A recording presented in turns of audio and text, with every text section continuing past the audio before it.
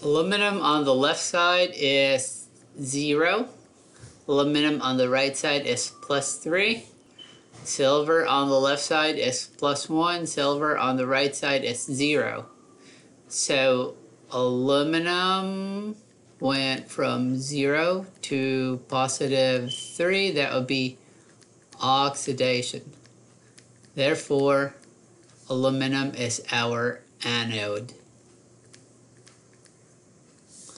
And then silver goes from positive 1 to 0. How do you become less positive? By gaining electrons. So silver underwent reduction. And that means that silver is our cathode. Okay, so to answer part A,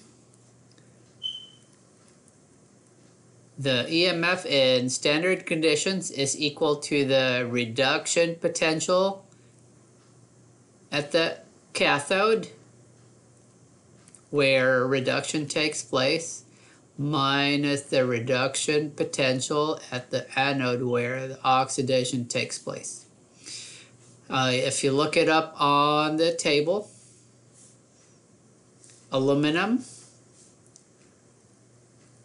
Al3 plus plus 3 electrons Al.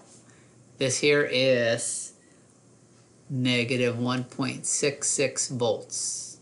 And then Ag plus plus an electron Ag, if you look it up on the reduction potential table, is 0.80 volts.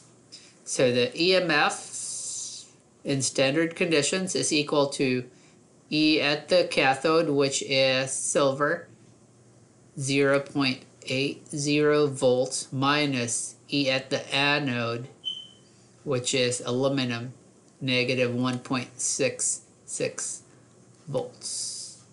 So what would that be? That will give us That gives us a voltage of 2.46 volts. So this is the EMF in standard conditions.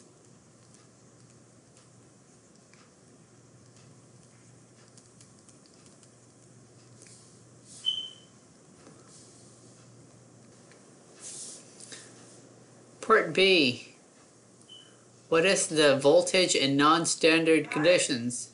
Voltage in non-standard conditions is equal is equal to the voltage in standard conditions minus RT over NF ln of Q. All right, so let's identify all of those. Uh, E we determined earlier is the voltage in standard conditions is 2.46 volts. R is a constant, it's 8.314 joules per mole per Kelvin. T is the Kelvin temperature, that would be 43 degrees Celsius. It has to be in Kelvin plus 273 that gives us 316 Kelvin.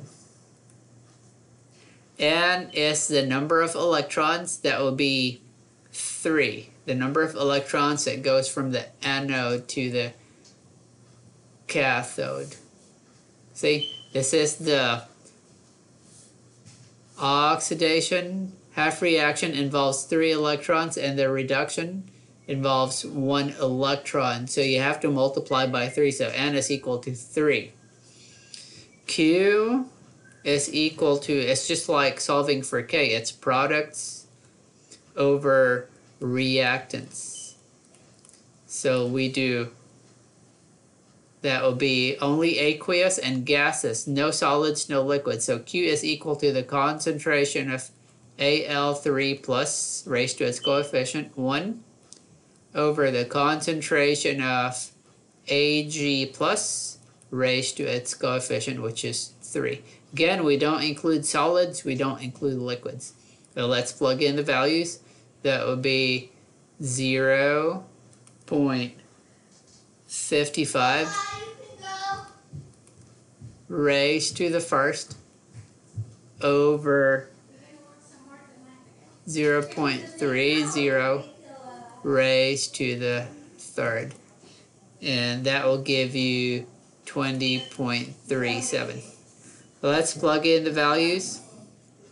E is equal to 2.46 volts minus RT. R is 8.314. T is 316 Kelvin over NF. N is 3. F is 96485. ln of Q and Q we determined to be 20 point, 20.37.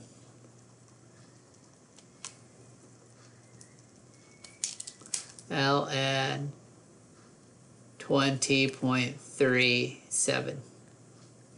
If you do the math, that will give you, if you do the math, you're gonna get 2.43 volts. So there was a decrease of 0.03 volts from the standard conditions.